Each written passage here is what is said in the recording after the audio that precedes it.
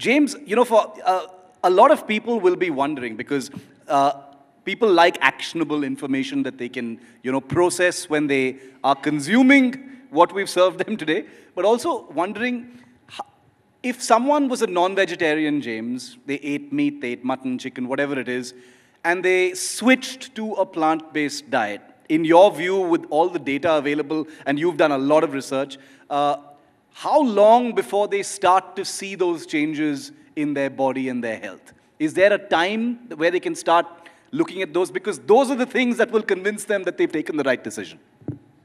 Sure. Well, I think there's a couple of things there. Um, so, first off, while you know, I think a lot of people are willing to go all the way vegetarian. We like to say that it's all or something, not all or nothing, because I think if people think they have to take that step overnight, you know, uh, that's a big step for people. And the science really does show that if you shift towards eating more plant foods, uh, you have there's incremental benefits along the way. So people should keep that in mind. It's not all or uh, all or nothing. It's all or something. And you could be flexitarian and be eating, you know, Imagine Meats uh, sometimes, and sometimes be eating some meat and dairy.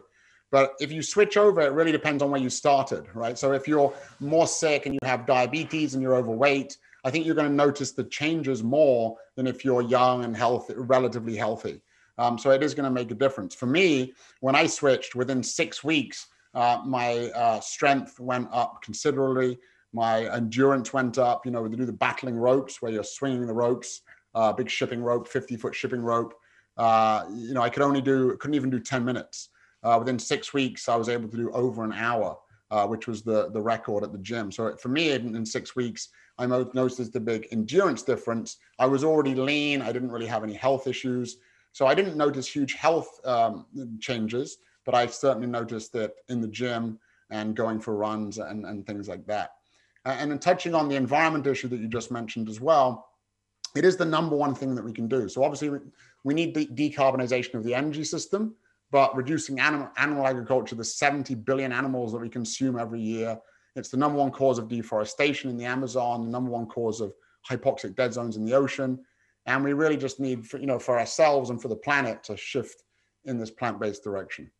Has the has the uh, Riteish has the has the pandemic and you know all of these emerging concerns about uh, you know eating animals has that has has that provided a huge spike in interest and the exploration of a plant-based diet has that helped I, I absolutely agree with what you're saying. You know, and it's not about India; it's it's world over.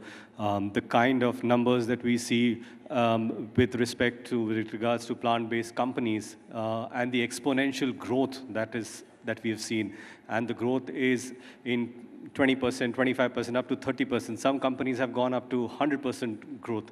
And if you compare this growth to meat manufacturers, meat manufacturers are low single-digit numbers. And when we look at um, you know bigger companies um, um, like you know UBS and Bloomberg who have done research, data analysis, and when they look at data of the sales of all these uh, products, and and they say that by 2030, plant-based meats would be 10% of the meat market which is, which is huge, which is hmm. approximately $200 billion.